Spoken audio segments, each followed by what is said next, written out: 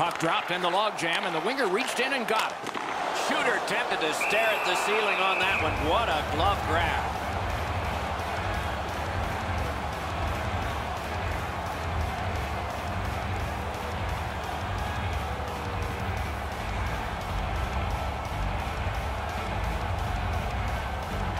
That's a solid face-off win. Hammers one. He leaned into that one. He got most of that, just misses the net.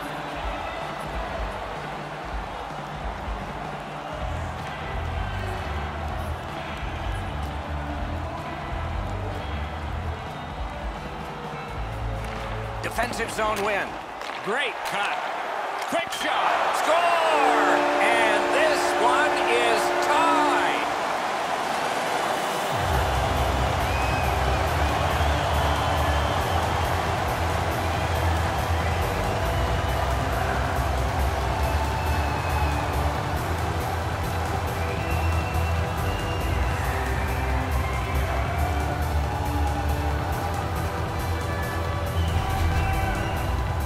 It's felt at various times like one team or the other would have a little bit of the upper hand.